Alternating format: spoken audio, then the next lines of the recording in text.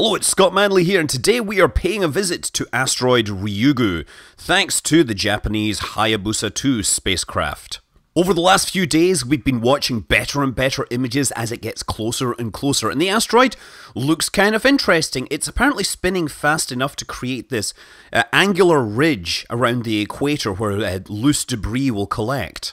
As of Friday morning, the spacecraft will be about 40 kilometres away and moving at less than uh, 9 centimetres per second as it approaches this object. And since the asteroid is less than a kilometre across, it's expected the escape velocity would be about 1 centimetre per second. So uh, Hayabusa 2 is still very hyperbolic.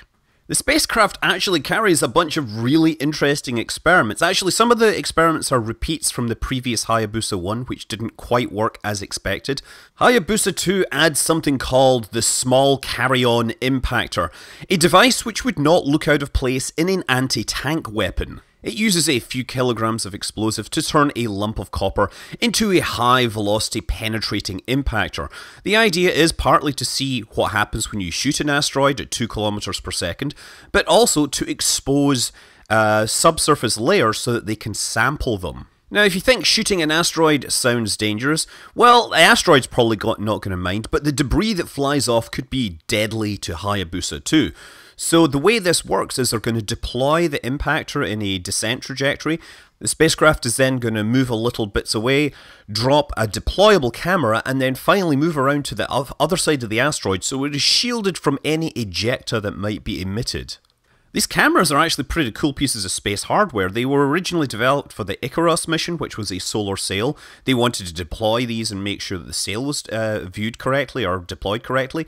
They are about the size of your hand, and in fact, they are, in theory, the smallest objects ever, or the smallest spacecraft ever used in interplanetary space. They would operate for maybe 15 to 20 minutes and sending data back to the parent spacecraft so it could be sent back to Earth. The spacecraft also carries four other deployable rovers.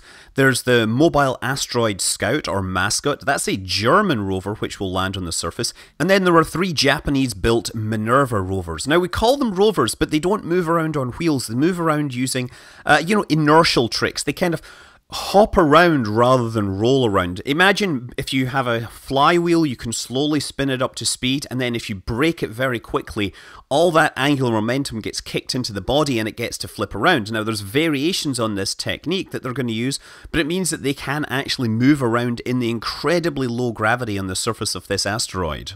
But all of these shenanigans on the surface will have a time limit because this is a sample return mission. And yeah, they're going to go down and try to grab some pieces of the asteroid. Now, they, what they do is they basically fire a little bullet into the surface and then debris comes up and hopefully some pieces end up going into the collection horn and then get put inside a, a sample return package.